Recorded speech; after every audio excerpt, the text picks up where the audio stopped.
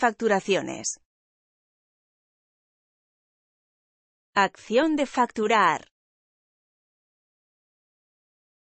Cantidad de dinero que suman todas las facturas emitidas por una empresa durante un periodo determinado de tiempo.